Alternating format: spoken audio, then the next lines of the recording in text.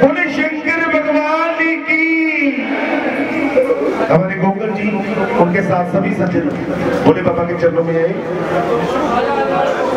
इक्कीस वर्ष से भोले बाबा की बड़ी अपार कृपा है। बाबा बर्फानी की लगातार भोले बाबा के चरणों में शिव सेवा संघ बरनाला के बच्चे वगैरह लगाते हैं। तेई वर्ष से लगातार मनोज सिंगला जी, जो भोले बाबा के चरणों में बठिंडा से बच्चे लेके आते हैं। ये बाबा की कृपा है।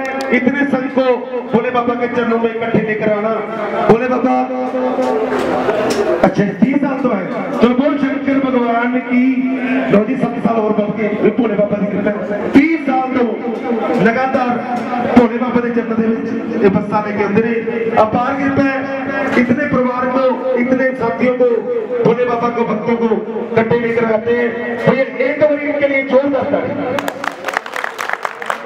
Parabéns.